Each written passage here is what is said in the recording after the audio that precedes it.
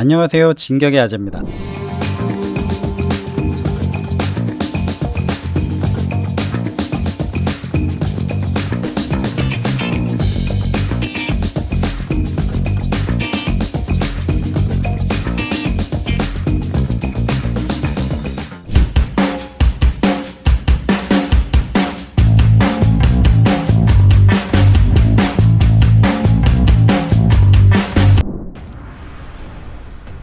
아덱스 2021 서울 국제항공우주 및 방위사업 전시회 2021에 제가 다녀왔습니다.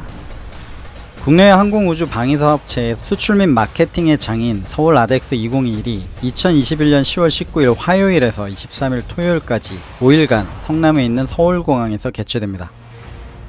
국방부, 산업통상자원부, 국토교통부, 합참, 공군본부, 방사청이 후원을 하고 28개국 440개 업체 1814개 부스가 설치되었는데 국내 업체만 269개가 참여한 서울 아덱스 2021 일반인에게는 23일 토요일만 오픈한다는 소식에 참여하지 못하시는 윙맨님들을 위해서 다녀왔습니다.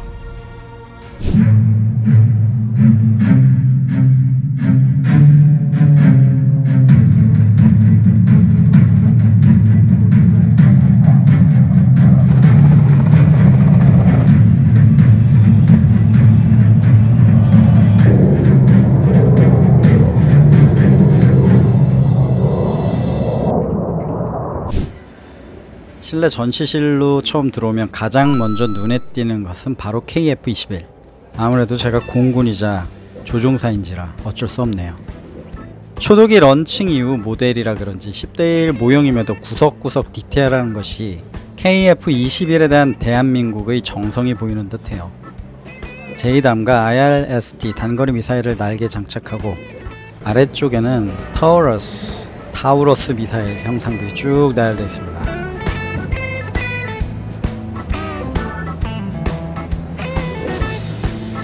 공동개발 파트너인 인도네시아 국기까지 같이 도색된 KF-21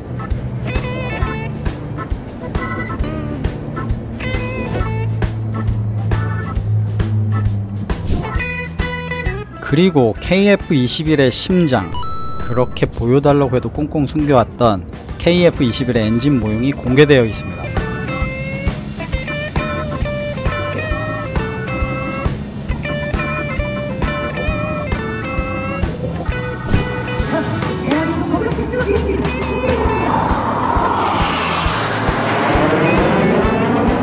그런데 실내 전시장을 보면 은근 K방산업체 간의 첨예한 경쟁을 볼 수가 있어요. 올해 초 디펜스 코리아에서 선을 보인 하나의 에어 택시 선풍적인 인기를 얻었죠. 이번에도 자리를 잡고 있는데 한화의 독주를 두고 볼 수 없다는 듯이 반대편에 수소 연료 전지를 파워 소스로 하는 LIG 넥스원의 KCD 200 1대2 모형이 딱 하고 자리 잡고 있습니다. 뭐 볼만합니다. M-SAM medium range 지대공 미사일을 개발하고 있는 LIG 넥스원 그리고 L-SAM long range 지대공 미사일로 맞서 있는 한화 디펜스. 그런데 한화 디펜스에서는 SAM 모형을 설치하지 않았네요. 이것도 하나의 관전 포인트가 되겠습니다. 현대는 리모트 컨트롤 가능한 무인 전투 차량을 선보였는가 하면 기아에서는 기동용 전술 차량으로 대응하는 것이 보여요. 이것 또한 관전 포인트가 됩니다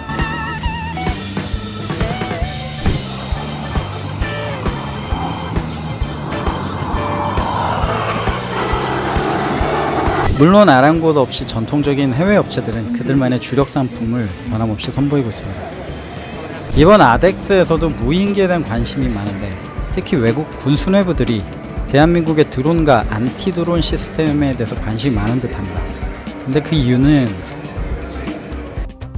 중동의 여러 국가들은 드론 공격과 드론 방어에 큰 관심을 가지고 있기 때문이죠. 제가 취재하는 이 순간 중남미 콜롬비아에서 한국의 드론과 안티드론 시스템을 구매한다는 소식이 있네요. 와 진격의 K방산 가슴 뿌듯합니다.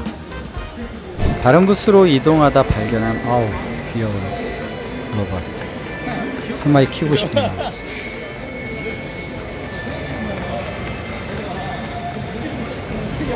그런데 갑자기 들리는 우레 같은 소리에 밖으로 나갔습니다. 아덱스 2021의 또 다른 볼거리 외부 전시장에 계류되어 있는 각종 항공기들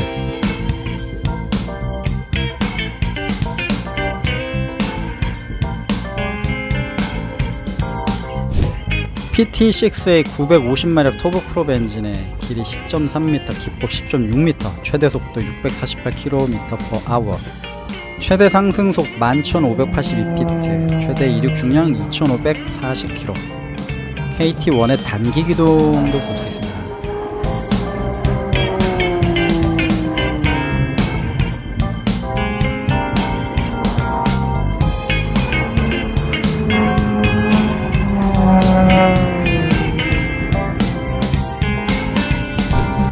G404 17,700파운드 터보팬 엔진에 길이 13.1m, 기폭 9.5m, 최대 속도 마 1.5, 최대 상승 고도 38,500피트, 최대 이륙 중량 13,470km, TO10 단기 기동도 준비되어 있습니다.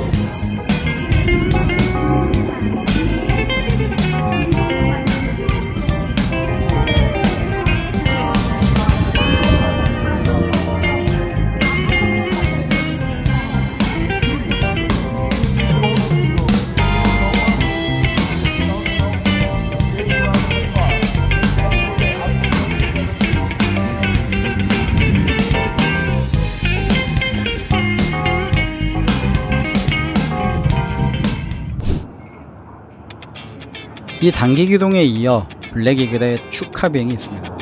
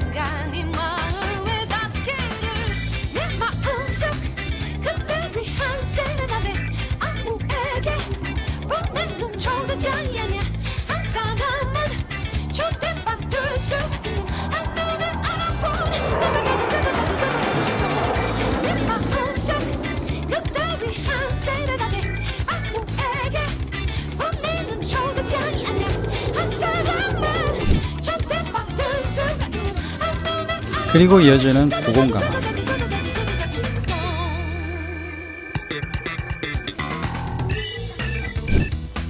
부에 있는 항공기 전 시장에서는 대한민국과 미군의 항공기들을 볼 수 있는데 F-35A, F-15K, KF-16, F-4, F-5, T-50, F-50뿐만 아니라 건국기 머스탱 F-86 대한민국의 공군 전력들이 모두 전시되어 있고 반대편에는 미군 전력들이 보이는데 네? 호랑이가 있네요. 이게 웬 호랑이죠?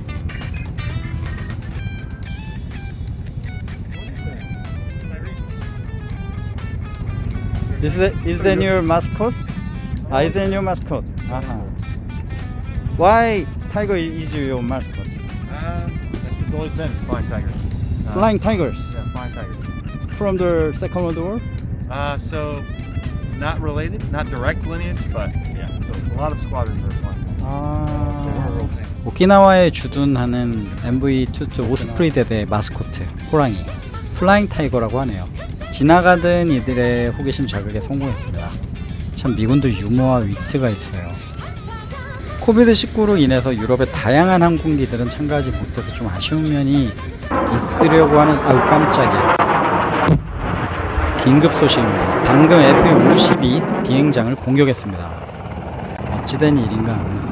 공군의 탐색 구조 작전 시범에서 추락한 조종사 주변의 적을 강타한 FA-50 그리고 KA-1의 유도를 받아 진입하는 HH-60 구조헬기 아덱스에서만 볼 수 있는 또 다른 볼거리 탐색 구조 작전 시범이 있었습니다.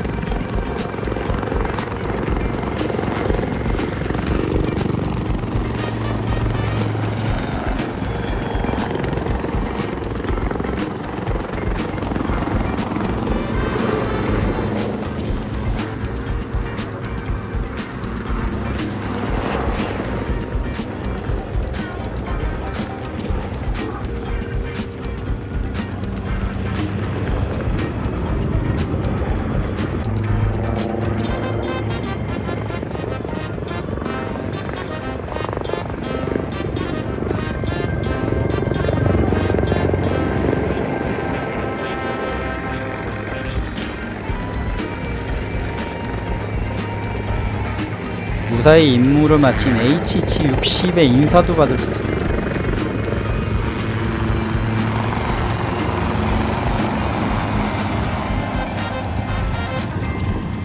아직 다 보여드리지 못한 K방산의 위력 그리고 다른 부스에서의 재밌는 이야기들이 많이 있습니다.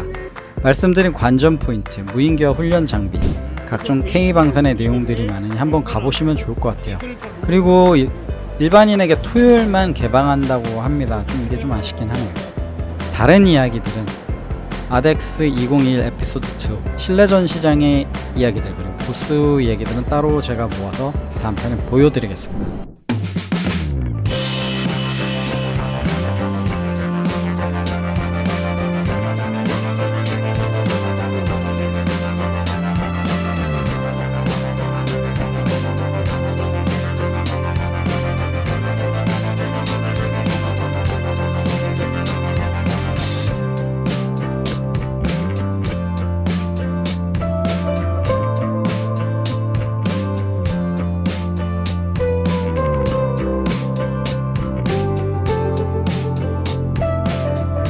오늘 저는 여기까지 진격했습니다. 언제나 늘 항상 운매님들의 건강을 기원드립니다. 안녕.